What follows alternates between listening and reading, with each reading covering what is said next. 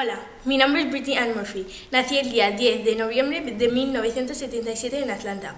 Fui una cantante y actriz muy famosa. Cuando tenía dos años, mis padres se separaron, entonces tuve que vivir con mi madre en Los Ángeles. A los 13 años ya salía en los anuncios de la tele. Mi primera película fue Recién casados. Me casé con un hombre llamado Simon Munjak, pero no tuvimos hijos y tuvimos que vivir con mi madre en la misma casa durante tres años. Me acusaron de tomar drogas, pero siempre dije que no era verdad.